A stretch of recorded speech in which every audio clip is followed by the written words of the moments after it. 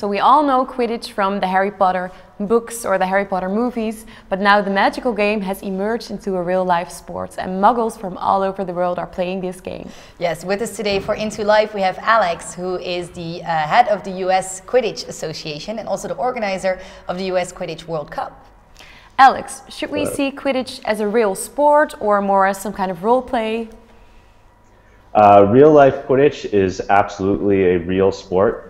There are teams all around the world for it. Uh, I'm the CEO and founder of US Quidditch, which is the US organization for the sport. We have over 160 college teams. They have tryouts, they have practices. It's a full contact co ed sport. And there is, of course, the International Quidditch Association, uh, which has more than a dozen uh, nations represented who play Quidditch around the world.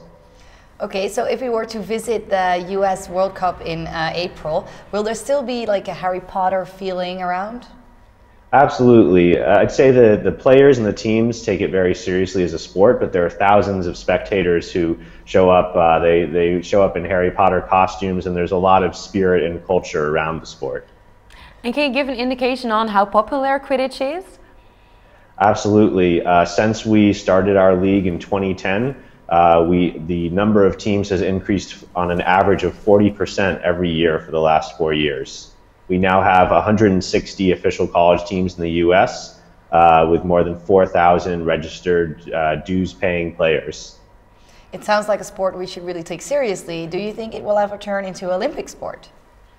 Uh, it would be wonderful one day to see Quidditch in the Olympics. I, I, think there are a lot of sports ahead us ahead of us on the waiting list, um, but I believe that Quidditch has the entertainment value uh, and the athleticism necessary to be a very exciting Olympic sport. Okay, one little question: Are you Slytherin, Gryffindor, Ravenclaw, Hufflepuff? Which one? well, when I joined uh, Pottermore, the the Harry Potter um, uh, fan site that J.K. Rowling created uh, they sorted me into Ravenclaw. So uh, I always thought I was a Gryffindor, though. Everybody thinks. Okay, well, Alex from Ravenclaw, I wish you the best of luck this season with Quidditch. And if you want to know more on this topic or other topics, go to intoconnection.com.